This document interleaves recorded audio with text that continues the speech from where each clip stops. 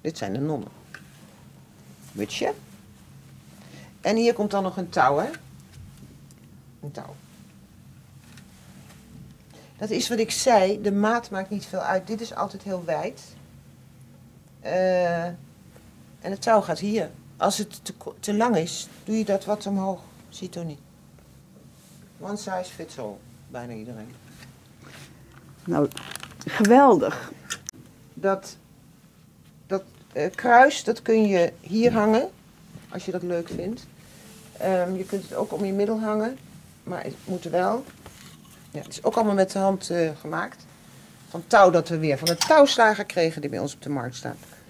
Deze moet dus zo. Niet eromheen, maar aan de binnenkant. Zo. Zo hadden ze dat vroeger. Je kunt hem twee keer doen. Dit zijn lange. Dus niet hier, maar hier. Dus aan de binnenkant moet die zitten. En dan kan het kruis hier hangen of je kunt het hier aanhangen. Simpel is het. En dan maak ik meestal deze hier achter vast.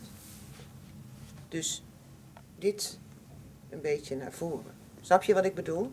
Dus niet zo omslaan, maar doe het zo. Het is allemaal wat. En dan kun je je handen dus ook hier tussen doen. Dat op de buik.